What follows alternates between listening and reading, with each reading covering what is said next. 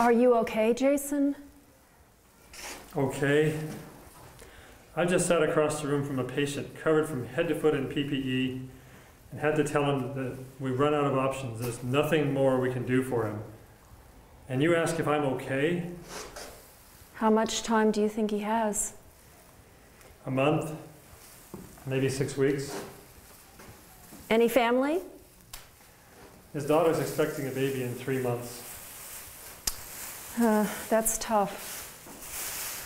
Sometimes all it takes is a gentle touch, a smile, but that's just not available at the moment. No. There's a limit to what we can do.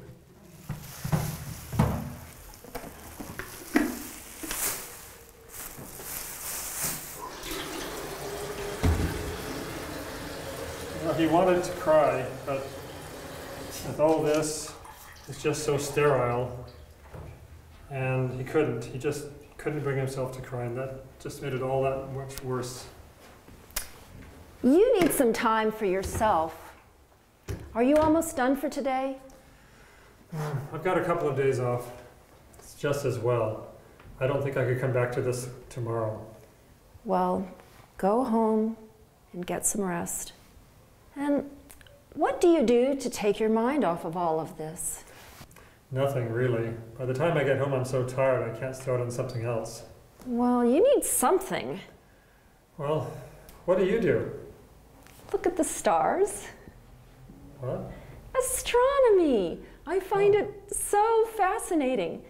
And, you know, sometimes when I get all wound up in my own little world and all of its problems, it's good to just get outside, look at the stars, and remind myself that there's something so much bigger out there. Sounds pretty cold to me. No, I just dress up warmly and take a flask of soup. And you know what? I get so fascinated with it that I don't feel cold at all. You know what? I'm going out tomorrow night. Why don't you come with me? There's no way you're going to get me to sit outside in the cold.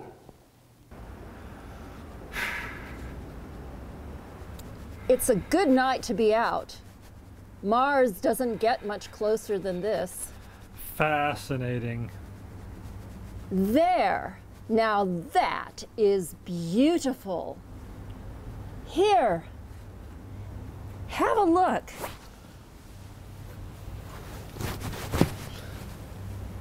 You see that yellow circle just underneath the center and a little bit to the right? And it's so much brighter than the others? Yes, I think so. That's Mars! How do you know?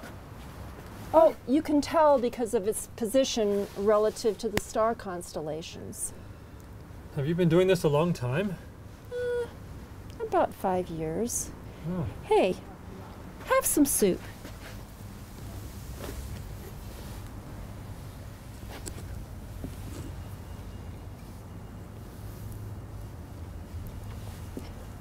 Are you feeling any better than yesterday? You know, there's a lot of good to what I do.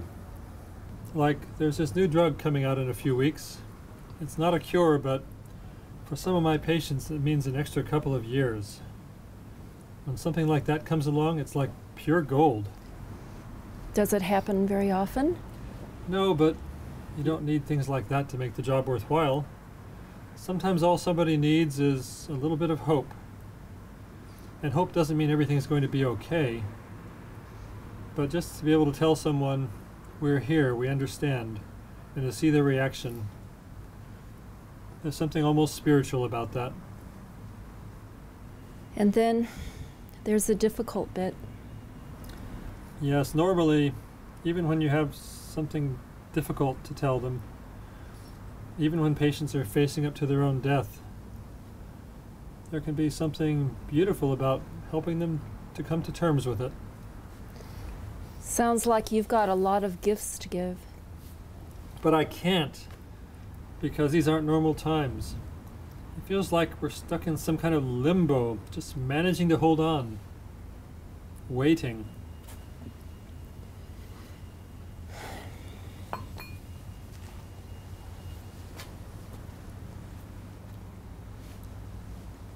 What are you waiting for, Jason? When I went into this, I thought I could make a difference. Not that I thought I could find miracle cures. It's not about that.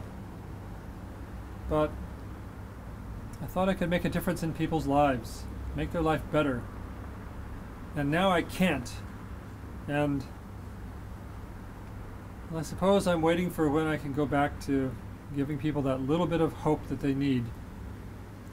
What's that? What? That star. It's so bright. I've never seen anything like that before.